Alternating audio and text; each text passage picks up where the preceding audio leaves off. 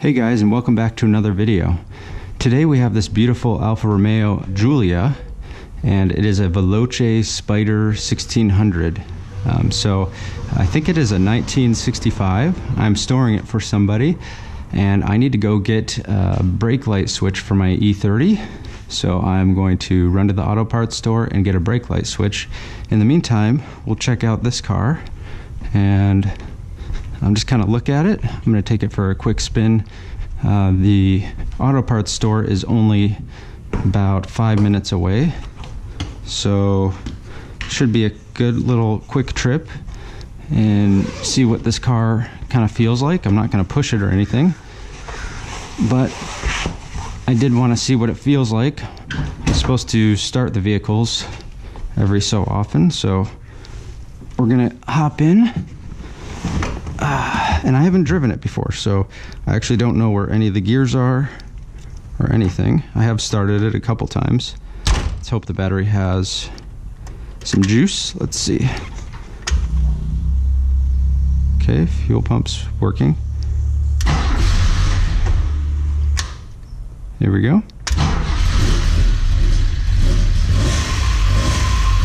Let it warm up. This car has definitely seen better days, but it does need to get um, a drive in every once in a while. Let's see if I can find the seat belt. Oh, it's a lap belt only, folks.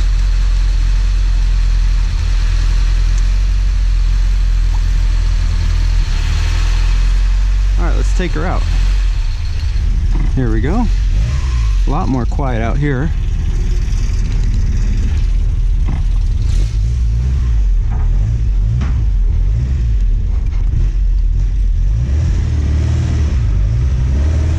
Oh yeah.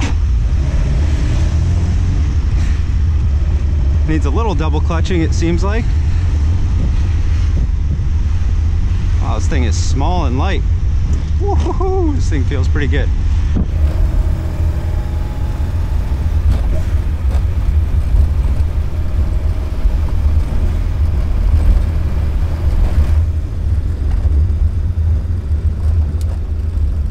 Okay.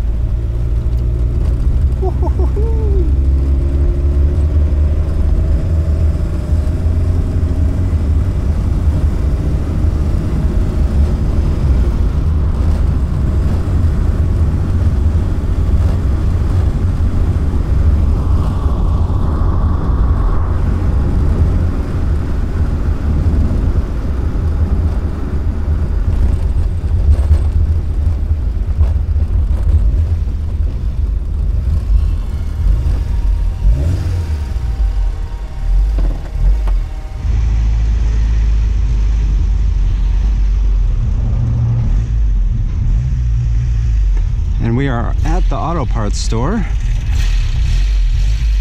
Yeah this thing is very light.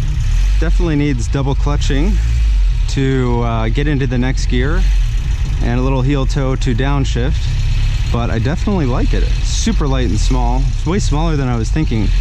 Um, but let's go get our auto part and I'll get back with you in just a second.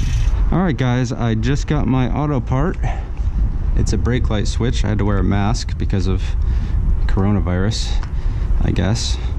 Uh, this is Import Direct. It's for my Spec E30 brake light switch. Let's see. I usually bring the other part to make sure it's right. This is definitely cheaper than the BMW part, but let's get back to the Giulia. Yeah, I really liked driving it here. It was nice and small, kind of boaty feeling just for the uh, size of it. It felt a lot, it felt bigger than it actually is just because of the spring rate I think was just very soft so it took a lot of time to transfer the weight from one side to another but uh, let's drive it back uh, to my house and uh, I'll see if there's anything else I learn about it and enjoy the test drive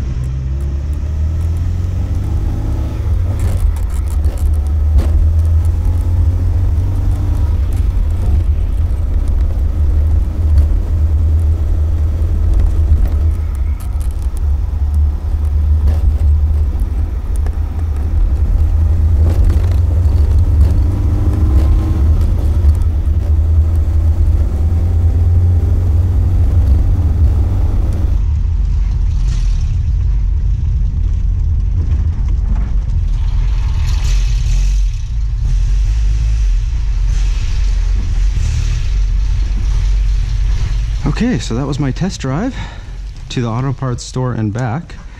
Let's pull the handbrake here so the car doesn't roll. And I like it. I would say the floor mounted pedals, I've driven old Porsches that have the floor mounted pedals before. Uh, these were kind of hard to get used to for heel towing, but um, that would just be something that would take more drive time. Looked like the temperatures came up pretty well. And this door they're probably all like that. It's an Alfa, so that makes sense. Uh, everything actually drives pretty good. It definitely needs suspension bushings, and uh, the spring rates are actually kind of soft for how small the car is. It feels like so, um, but it's probably more of a cruiser than a performance machine, which makes sense. And it is uh, over 50 years old at this point, so um, we are going to leave it with that. I have a Lotus Elise video coming out that I drove. I should have put that out already, but been having a lot of things to do since starting back work. And uh, we'll get that video out probably next one after this. And uh, make sure you subscribe, and I'll see you soon.